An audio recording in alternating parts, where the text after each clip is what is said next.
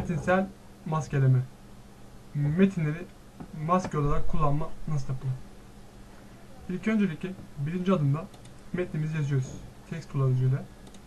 Ben buraya korkak herifin şöyle herifin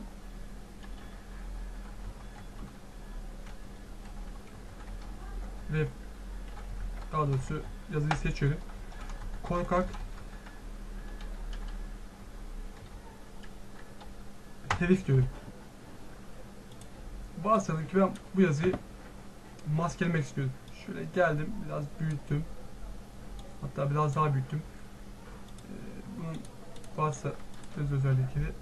Evet, ben bu yazıyı maskelemek istiyorum. Şimdi ilk öncelikle bu yazıyı ben neyle maskelemek istiyorum?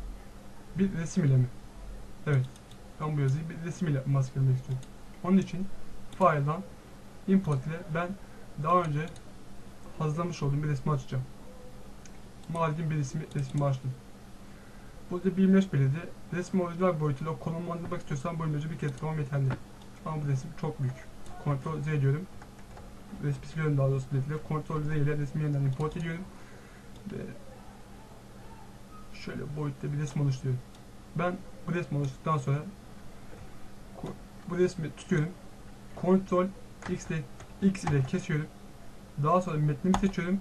Ctrl Shift V ile içerisine yapıştırıyorum. Görmüş olduğunuz gibi metnim maskelendi.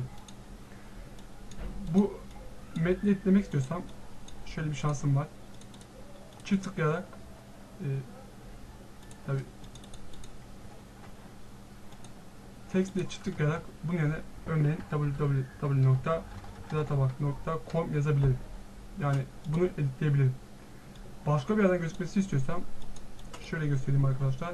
E, layer'den evet şu kırmızı yeri seçtikten sonra tabii ben kayıtlı olduğum için bilmiyorum. Şu an seçemedim.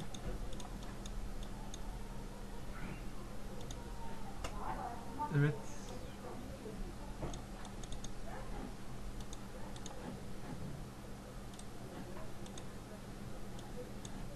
Şu bitmap yazan yere tıkladım. Tıkladıktan sonra bunun üstüne geldim. Şöyle kırmızı bir alan çıktı. Ee, bununla editleyebiliyorum. İsterseniz de beyaz okarajını alayım. Onunla Evet. Onunla editliyorum. Yazının nereden gelmek istediğini belirtebiliyor. Evet görmüş olduğunuz gibi editleyebiliyorum.